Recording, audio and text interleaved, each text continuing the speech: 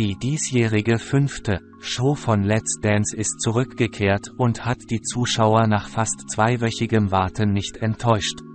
Eine lebhafte und farbenfrohe Party, perfekte Auftritte begannen zu erscheinen. Die Osterferien und eine längere Zeit scheinen einigen Prominenten zu Höchstleistungen verholfen zu haben.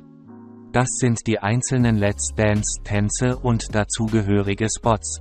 Ann-Kathrin Bendixen und Valentin Lusin tanzten den Quickstep und erzielten 16 Punkte.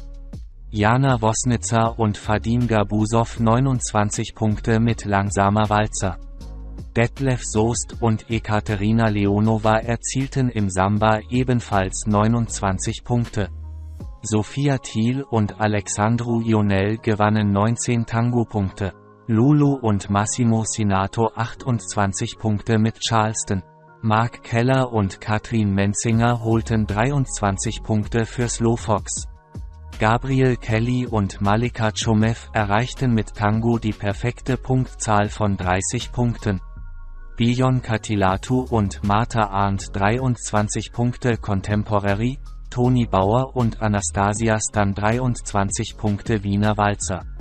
Schließlich erzielten Stefano Zarella und Maria Maxina 19 Samba-Punkte.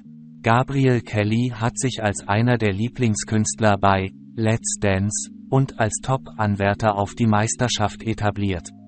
Mit Nothing Else Matters ist er nahezu perfekt auf der Tanzfläche.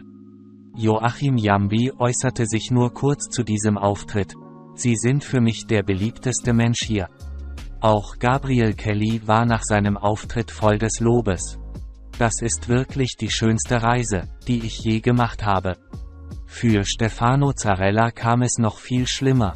Als er mit Maria Maxina zu Günthers, Moliendo Café, Samba tanzte, schied er aus. Eine Entscheidung, die auch Moderator Daniel hat. Cảm ơn tất cả các bạn đã ghé thăm Show. Đừng quên like và đăng ký kênh để xem những video hay hơn. Chúc các bạn một ngày tốt lành. Xin chân thành cảm ơn.